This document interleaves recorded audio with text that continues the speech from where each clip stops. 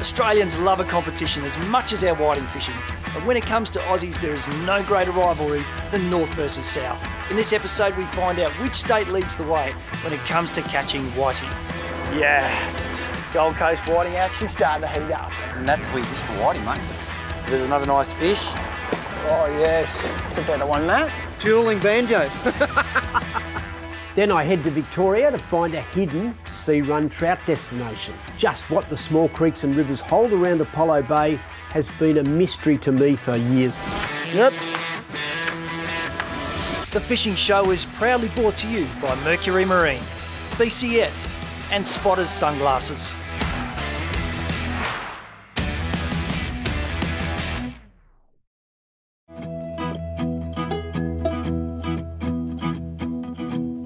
Australians love their sport and equally love their fishing. State of Origin football is big down under during winter, as is whiting fishing. I wondered what would happen if I pitted a northern angler against a southern rival in a no holds barred whiting fish off, and the journey begins on the Gold Coast and southeast Queensland. Terrible weather. Terrible Queensland winter. Ah well, Shorts on. let's go fishing. Representing Queensland in our Whiting State of Origin Challenge is Robbie Payne. Rob, you've got six hours Six hours. to catch a bigger whiting than your southern counterpart. At the same time, convince us why your whiting is Hang better. on, hang on, hang on. You just said whiting. How can you call them whiting when you take them out of the water and they ooze this slime and they're, ugh, they're eels. Well, your job should be easy, mate. Here it is, let's go. While Rob begins looking for a place to fish, it's time to jump on board with Matt Sini in Victoria's Port Phillip Bay. You know, right? Mate, this is what you're in for today. You've got to convince all the people out there why your whiting is better.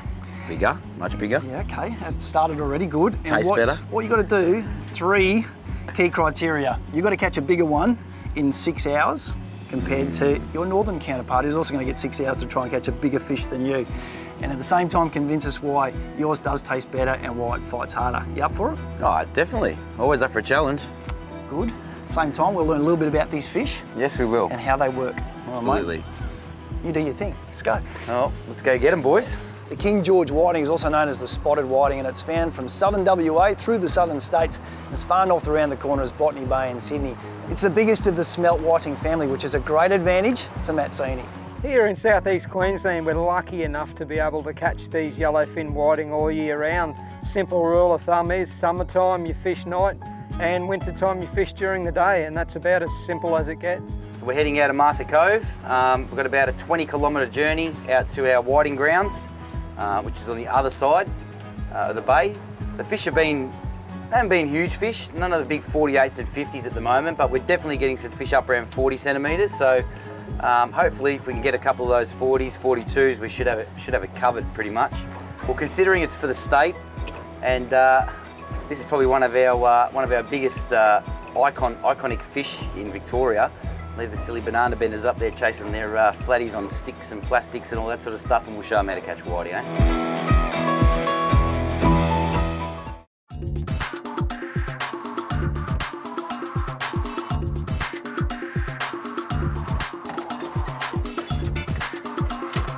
Main thing with the worms is to make sure that you put, always put a worm on head first. That goes for beach worms, wriggler worms, rock worms, mud worms. It doesn't matter which worms you're using. Always put them on head first.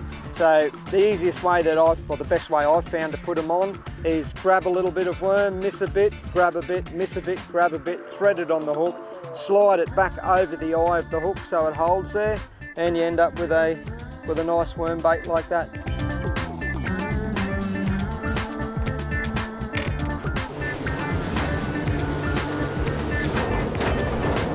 Going to fish in about seven metres of water today. Um, all you need for King George whiting is uh, your sand and weed holes. Um, not so much on a flat area, can be good. Wherever you've got the weed and sand holes, it's nice to find a little bit of a drop off, whether it be a foot or a metre. In this case, we've gone from six metres to about 6.8. So we've just parked the boat nicely on that edge. We've got a beautiful run out tide till about eight o'clock tonight. And that's exactly what they like. This looks really good here, Nige. You can see the sounder, you can see the brake lines in the in the water column here. But uh, the Victorians, you know, they, they really haven't got much. Our whiting They get right up in the shallows up there. Their whiting have to be in deep water. They just they just got no go about them. Ours just they're tough. In the shallows, take on the birds, take on everything. They just handle everything. I'll get the anchor then, eh? go, Robbie. Time's Alright, ticking. Let's do it. Give us those worms. What? Did you see that? That was a proper whiting bite. That's it. Got him on, mate. Well done. No, it's got to be a, got to be a, got to be a toad. This one. Oh, he's coming under the boat. I think we got the right one on. I better back the drag off a bit. We might have a good blue spot flathead actually. No, we got the right type. That's good. In Melbourne here, this this is classed as a game fish. All right, he's just about to take a dive here. Oh yeah, that's what we want first up. That's a pretty good score, on that. That's probably Nigel. That's probably as about as big as you're going to get here in Port Phillip Bay. Um, down this this part of the this area, he's probably he's probably 40 centimetres. Beautiful fish. All right. Um, that's a that's a that's a good fish for our for our uh, starting fish. so It's a cracker. And balls of muscle. Obviously, you look at their mouth, they'll tell you how they feed, don't they, mate? yes, So downwards. Yep. they say they benthic carnivores. They like eating protein on the bottom, and that mouth basically tells you. There's a beauty that Matt has of chasing the biggest of the whiting. King George, and that one's 41 centimetres, and that's going to be a tough ask, especially being first one off the rank. And I reckon he might have a few centimetres in him yet. He's just warming up. Now walk back, walk back, walk back. That's it. Yeah, got him. Yes. Does it feel like a whiting node? I'm not sure yet, mate. I don't know your whiting around here quite like you do. Well, our whiting are pretty skillful up here because those southerners, they they live in deep water. They can't handle the shallow water. Our tough whiting up here, they can bury in the sand, get under nets. They're just out of control. They're unbelievable. There you go. That's a whiting. There you go. Oh. Oh, look at that noise. Beautiful. Oh, we'd have to be 32, 34, He's, somewhere around that mark. Is our sand whiting. So many species of whiting around Australia, but two of the really popular ones, obviously down south, we've got the King George. The northern parts of the east coast, we get the sand whiting. The bigger cousin over in the west coast, we get a similar species known as the yellowfin. There's obviously a slight variation in them. They're all closely related with slight differences, but this one, he grows to about 50 centimetres and 1.2 kilos. That's, that's pretty much as big as they get. This guy's a, you'd probably say slightly bigger than average. Not a bad start. And there we go, that one is 34 centimetres. That's a very handy start for Rob. We've got a, probably a knot or two of current here. Um, the secret with King George Whiting Victoria is to actually use a slightly bigger sinker than what you need. Um, once we get the sinker on the rod, uh, when we cast our bait out, we bounce the sinker and the noise is actually what attracts the fish to the to the bait. So it's a very important that every every five to 10 seconds that we lift our rod and, and puff up the sand there. Mate, you've got a bait board with mussel and squid. That's dinner, mate. What's best? We always start off with muscle because when we hook our first whiting, as we bring them up, they they regurgitate the muscle up, and it creates a burley trail. Um, and then once we've got them going on that, we can simply just put a nice little squid strip on, mate, and it's just just easy. I'd crack on, mate. Five and a half left. Ah well, the boys up north haven't probably even found a spot to fish yet, so I can't be doing that bad. Nige, probably one of the big things that that can make your whiting fishing a lot more successful is making sure that every cast counts. Once you cast the reel, feather the reel so as the, the bait overtakes the sinker and lands flat so you know that that cast is going to count.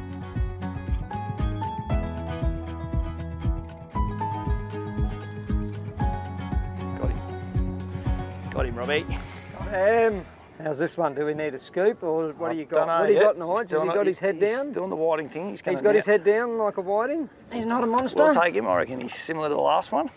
Yeah, it's not an Oh, upgrade he's a for bit us. smaller, that fella. There we go. I just didn't lose him. I was happy about that, Robbie. You I'm did afraid well. to lose him now that you're giving me the talking to. Don't lose him, Nige. This is an important competition for me. Don't want to see those southerners get up. One of the best ways to learn how to catch whiting is obviously to not leave the rod in the rod holder like that, that's a lazy way, but keep the roller or the reel up the top and just use your one finger, pull the line like this, and point the rod at the fish rather than using the tip of the rod to feel the bite. When you uh, point the, the rod at the fish, it's direct contact to your finger. So you'll feel them pulling on the bait, and then when they pull just that little bit hard enough, you know, you know to strike.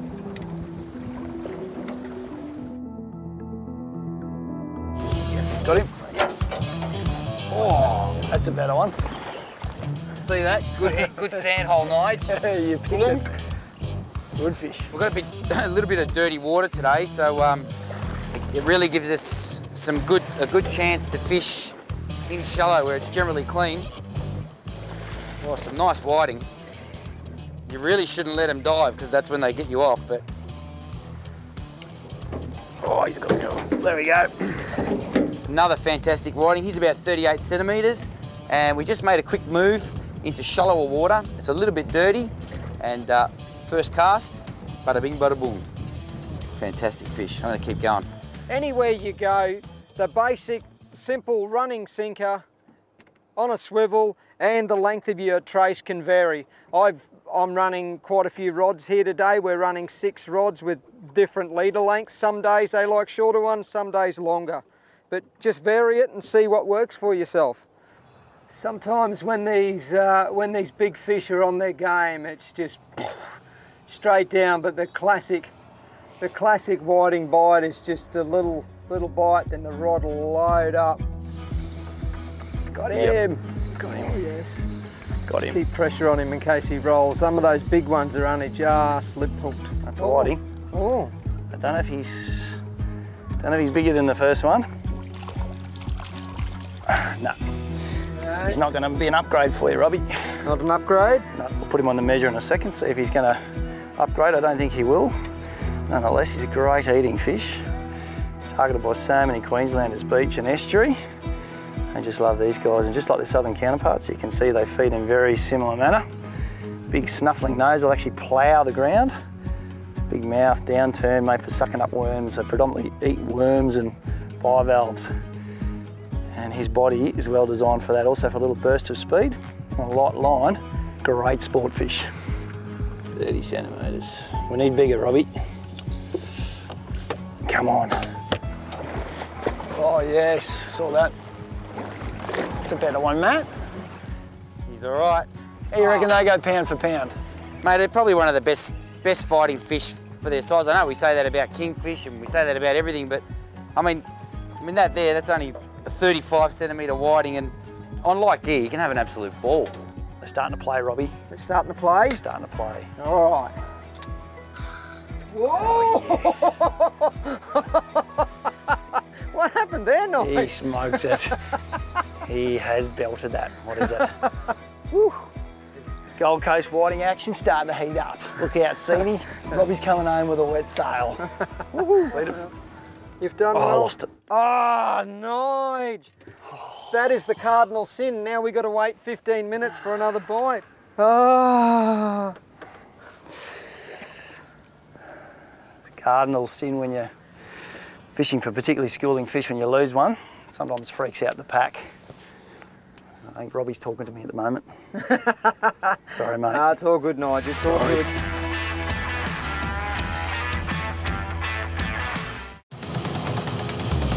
Generally, once you get those five really quick bangs, if you haven't got him, he's got you. Oh, he's back again now. That's why it pays to put that little bit of squid on. That's not a knife. That's a knife. That's, I love that when you when you leave it in the rod holder It's like gone. that, and it just and it just buckles like a Port Phillip Bay snapper. You know what the magic word is when you're fishing? Let's make a move. Whenever you say let's make a move, you get a bite. Whenever you say let's have something to eat, you get a fish. Nice one too. What do you reckon, Nige? well, I reckon you may. You reckon he's? Do you reckon he's Just, oh, I reckon he might go up a centimetre here. up a centimetre? I reckon. 40, 41. Another 41. Um, you can obviously catch a catch a big fish on a little hook, but you can't catch a little fish on a big hook. So I'm using a, a long shank, long shank Mustad hook here. Um, some of the some people use the short shank hook, so you don't have to use as much bait. but that's my preference. It, it doesn't really matter, it's whatever you're confident with.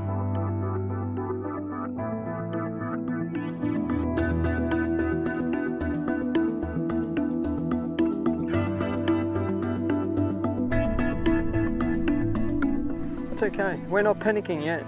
Taking some line there, Nige, see the rods, rods Yep, yep, down. yep. He's taking line on the reel, so I'll Yes. just grab hold of it. Stake up and got him. Cop that, Matt. The Queenslanders are coming back. Oh yeah. this, this, might be. this might be a better one. This Net. might be a better one, might be a real one. You've got a fish on this one too, I reckon. That's a better one. That's a chunky one. Woo. This is worth putting on the measure. This is, that's a little bit better. They probably go about 36, 37, something like that. He's just touching 38, mate.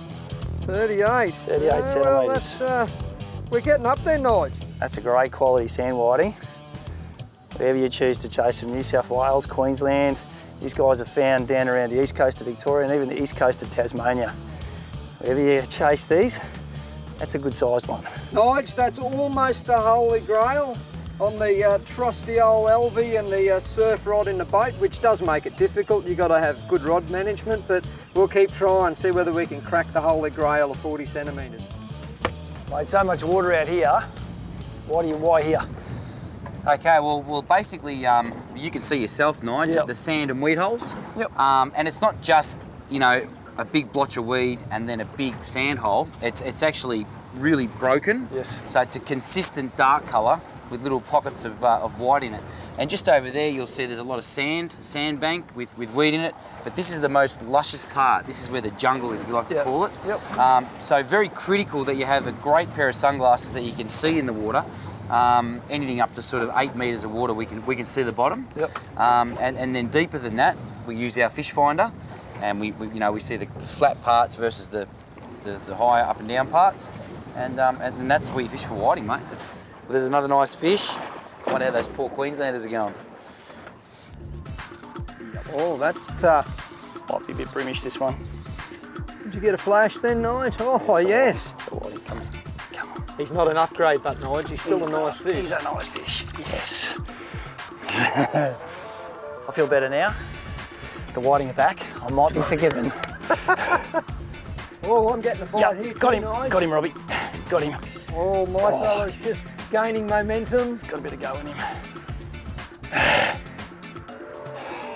Yes. Yes. Oh, no. Oh, no, I've dropped mine. I've done the cardinal sin, Oh, Nige. Robbie, I've got mine though. Oh, Got mine. oh, that's a nice one, Nige. Oh, still not an upgrade. Ah, Doesn't matter, we're catching them. Before we even get to measure that one, we've got another one. Let's have a look how they both go.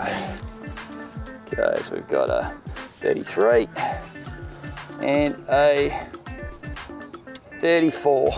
Not bad, not bad.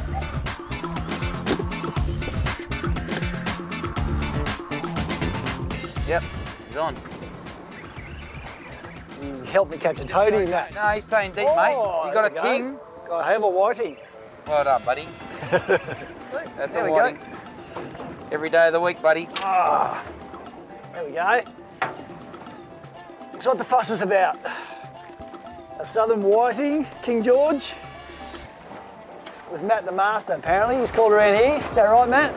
Matt the Master. Is That's that it, only your mate. missus that calls you that? Oh, well, beautiful. Okay, Nige. Oh, this one's a bit angry. He feels a little bit like a whiting. Certainly not an upgrade, but uh, a nice fish at that. Oh, the Victorians, I don't know. With their, they really don't have a lot to look forward to down there. You've got, you've got whiting that drip slime like eels, the poor old snapper that you can catch everywhere, and a gummy shark. Who would eat a gummy shark when you can eat beautiful fish like this that there's no slime on them. They're just absolutely beautiful. Look at that. Whiting? Yep. That was on the drop, that one. Straight onto it. Yep. Oh. One. Yeah, he's all right. I just questioned myself with that little bit of squid. And I said, oh, is it good enough to throw out there? And I, sure enough, didn't even get to close the bail arm. Oh, yeah. Another good one. They're all pretty much of a muchness tonight. They're all that 39 to 41. When we get that, when we get that one that's over 41, I'm sure they'll hear me from land. You don't have to panic too much. You can let them do their thing because the fish aren't feeling that much resistance. Bite. Got him? Yes. Oh, the other one's going. The other one's going too. Nigel's on that one. Is he? Remember, that's four pound line. Let's see how your Queenslander skills go with the old Alvey. Here we go, dueling banjos. I grew up in South Africa, mate, with a reel called a Scarborough. It was less sophisticated than an Alvey. I won't hold that against you, Nine.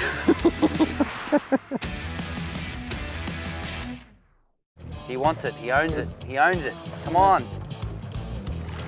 Oh yes. Oh yeah. Get time. Finicky bites today. Another nice fish there. He's not going to break any records. Surely the Queenslanders can't be doing as good as this.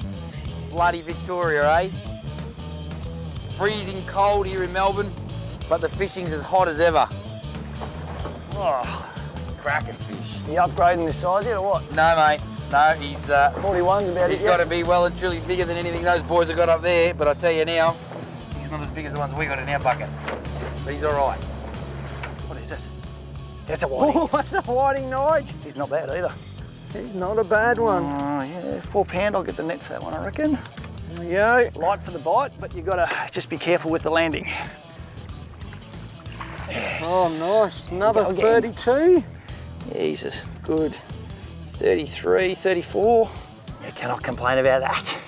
The whiting are biting, and it's very exciting. Yeah, Like that's a good one. You've always been impressed with the southern whiting. The southern whiting. The southern I've never whiting. heard them. I've never Well, heard them southerners versus northerners, so yeah, they are. Well, they are a southern white. They're from like all the southern states, a bit of WA, bit of New South Wales. Yep. The biggest of the of the group, so you can't argue that, can you? No, and um, they do get very big apparently. The, the fishery is definitely healthy. In Melbourne, um, it- it's like I said, it's, it's our it's our most fish for fish really. Like there's snapper and everything like that, but this fish is all round. Uh, everyone can go and catch them.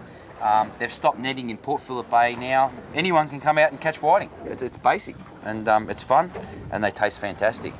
Come on, there he goes, there he goes, there he goes, there he goes. Yes.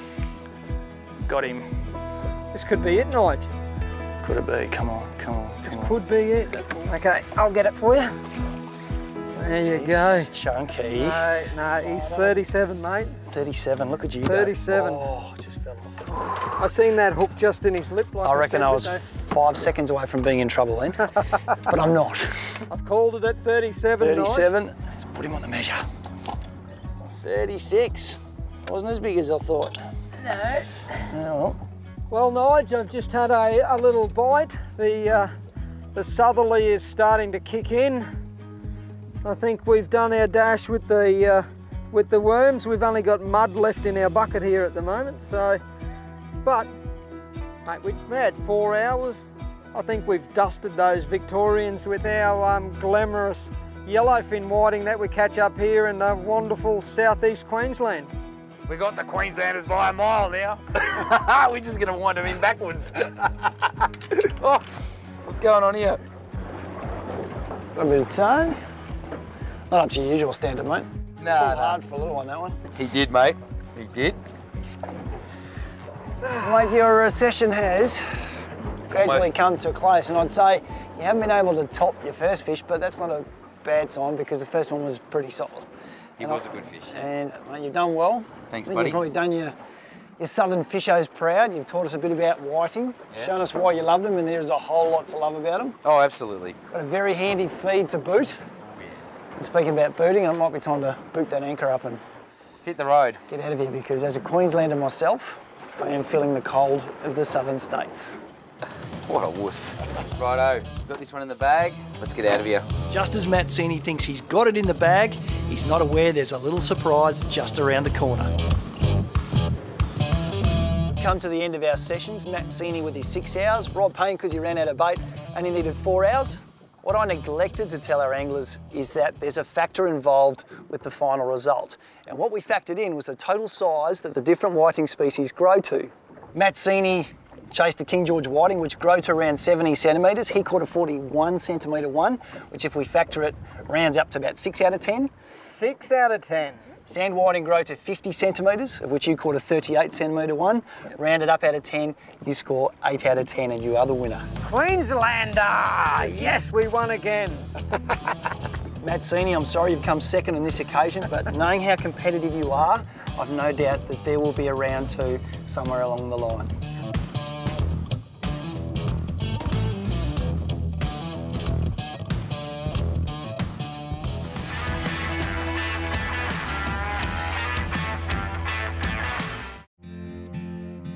I'm Bill Classon and I've fished all my life and for the last 30 years I've managed Australia's largest fishing and outdoor media company, AFN Fishing and Outdoors. Now new fisheries have always fascinated me and I've witnessed success stories from all around Australia. So recently, when I heard about trout being stocked in the rivers and streams around Apollo Bay in Victoria's west, I pricked my ears up. Why? Because this struck me as being odd, as I couldn't remember any recent stockings in these waters. And when I checked the records, there weren't any there either. So this means that these fish are potentially a long-lived and wild, self-sustaining population, which is something pretty unique within Australia. So I decided to go and investigate.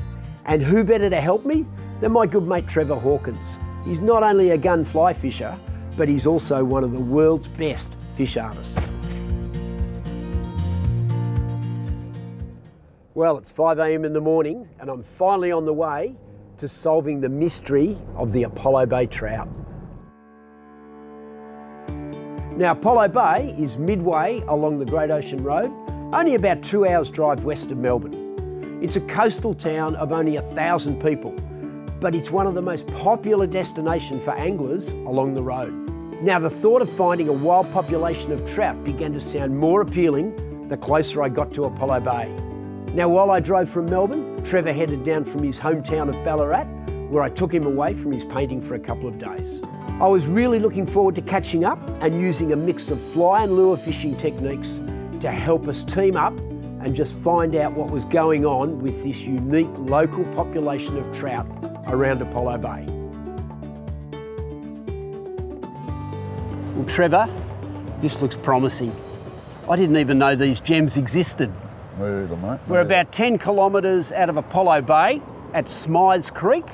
This is the Great Ocean Road, the road bridge, and this is the pool. Hundreds of fishermen must drive over this bridge every day. Yes. Mate, I can't wait. Let's go and have a go. We've got the surf just, just to the back of us.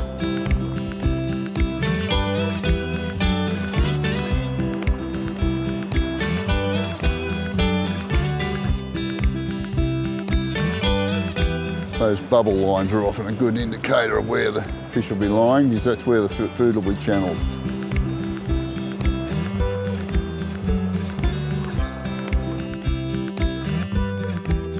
More, he's got it. Hey! Nice fish. Now, it didn't take long for Trevor to get one of these beautifully marked trout to bite.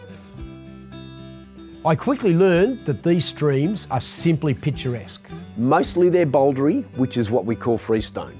They run hard and cold from the coastal mountains to the sea, often less than 10 kilometres in length. To think that these local fish have been looking after themselves for so many years was quite extraordinary.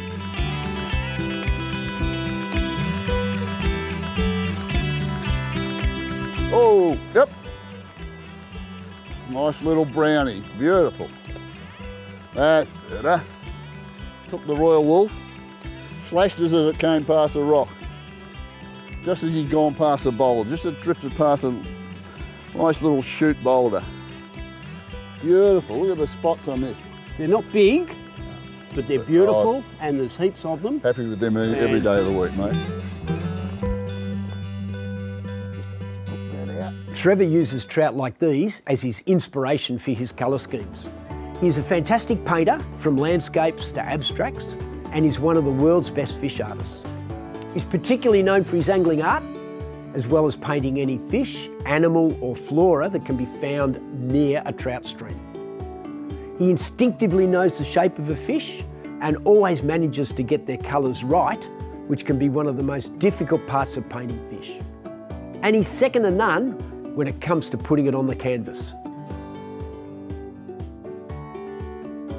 Don't fall for the trap, which is a lot of anglers do in these sort of situations of making 40 and 50 foot casts because they can. It's not, it's not a smart fishing move. Keep them short, keep in control, pepper the water.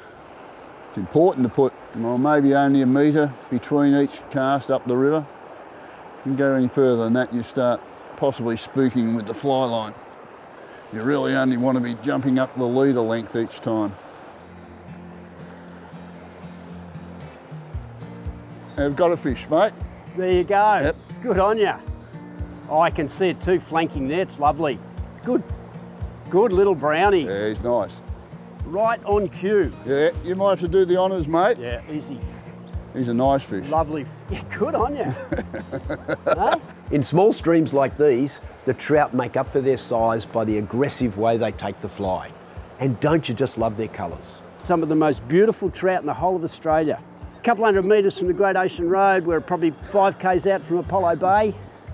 Hearing all the tourists going driving by down the Great Ocean Road. Exactly.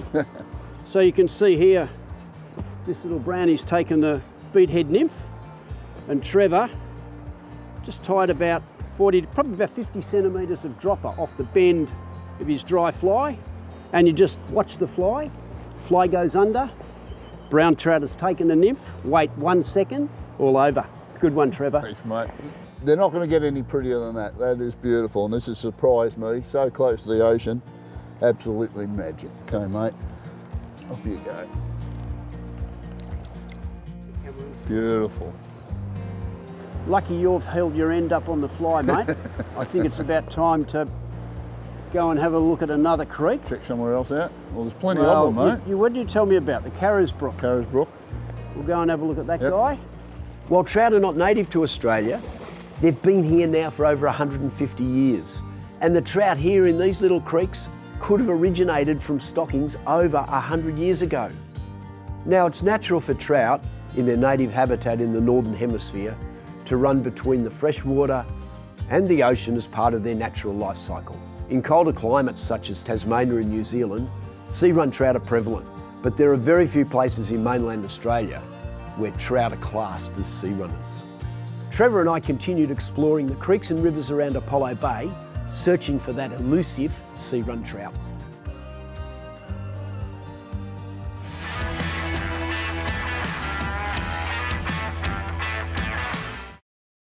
Along with being a prime holiday destination, Apollo Bay is a key destination for Victorian anglers. A lot of the fishing around Apollo Bay is boat based, where you can catch snapper, gummy sharks, and King George whiting among the productive offshore reefs. Land based fishing around the ocean is popular too, whether you're fishing off a pier for squid or heading down to the beach to catch some of the fabulous Australian salmon from the surf. Continuing our search for sea run trout, Trevor and I made our way to the Carisbrook River just outside of Apollo Bay. Here, we were hoping to hook a trout in some of the best landscape the region has to offer. It was fast becoming apparent that this area had some real gems of small trout streams. And it's hard to fathom that these idyllic trout streams were literally a stone's throw from the Southern Ocean. I was beginning to consider the real possibility that these fish were genuine sea runners. Look at that up there, Bill. Look at the hmm? cliff up through there. That's must be where the waterfall is. Yeah.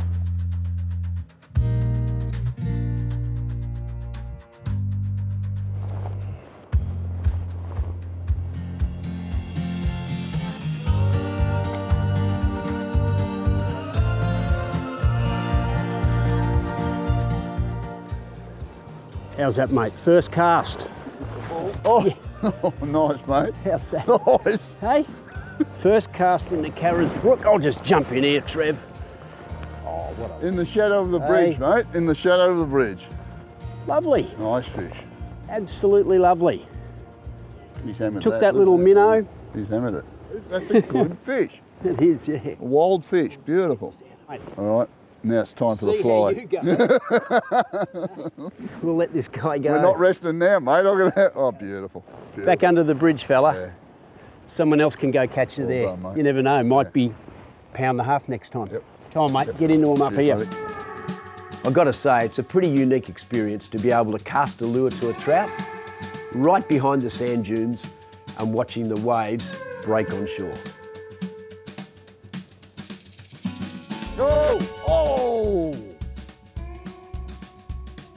Oh, mate, it was a bloody thumper ride. Bloody, there he goes. He's about twice the size of your one, Bill. Really? He just went down there then. Oh, big fish! Big fish!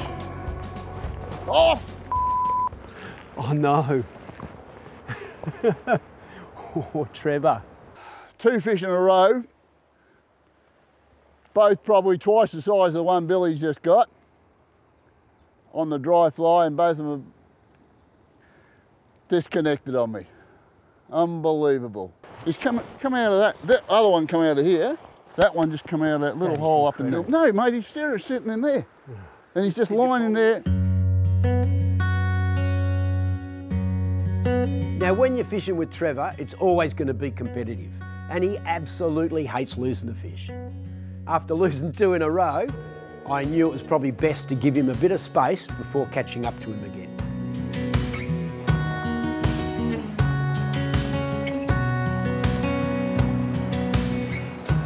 This is a coastal stream, not a meadow stream, a coastal stream.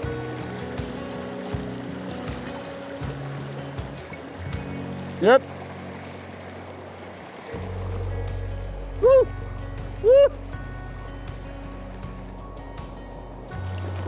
Look at that for a silver. Well, not quite the size of the other ones down there that I just missed, but a stunning little sea run fish by the colouring of him. Beautiful. We were still getting used to targeting trout in this coastal environment, and every pool held fish of varying size. The fact that some were sea run made it even more special.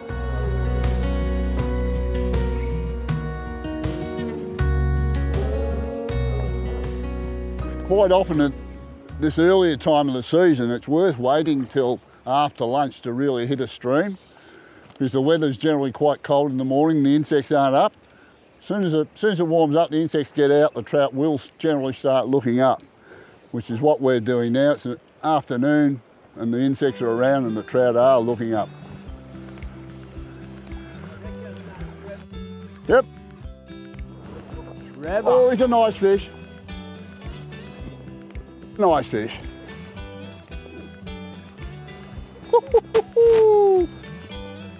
Oh, he's about the same. I thought he was bigger than that. He's nice though. These are not tiny stream fish. They're good, meaty fish. Get tangled up with the lead of this bloke. To-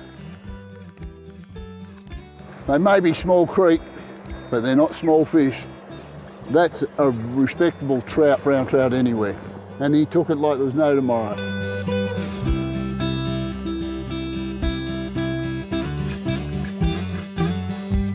It was a pleasure walking the banks of a beautiful trout stream and watching Trevor work his magic.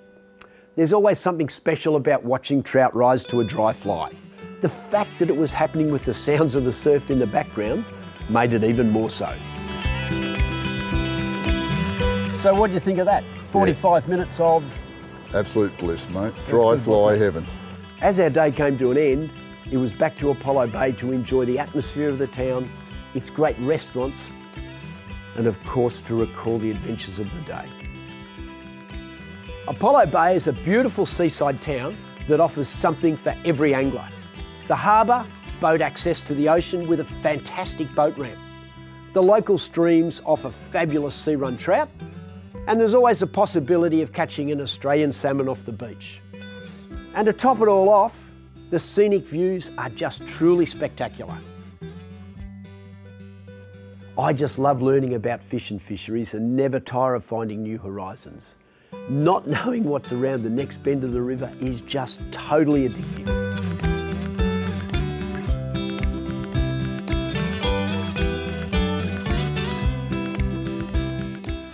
Details on all the equipment we used in today's show, head to our website afn.com.au, follow the links to the fishing show, and we'll tell you exactly what we used.